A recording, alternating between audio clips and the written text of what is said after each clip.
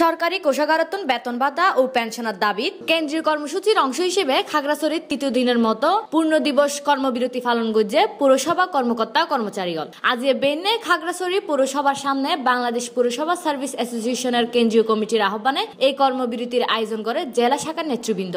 সংগঠন করে জেলা কমিটির সভাপতি জামাল হোসেনের সভাপতিত্বে কর্মসূচি বক্তব্য রাখে।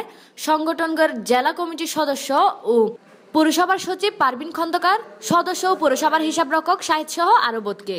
হৈরাহি সরকারি কোষাগারতন বেতন ভাতা ও পেনশন প্রাপ্তির দাবি করি খাগড়াছড়িত গত আঠাশ জানুয়ারি তুন কর্মবিরতি শুরু করে পৌরসভা কর্মকর্তা কর্মচারী হল।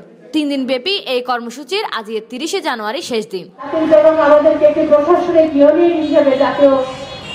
সংবিধানে আমাদের স্বীকৃতি প্রদান করেছেন। স্বীকৃতির আলোকে আমরা অনেক কিছু আবর্জনায় ভরে যাচ্ছে বৈদ্যুতিক সরবরাহ ডেক্স news C plus TV Chittagong.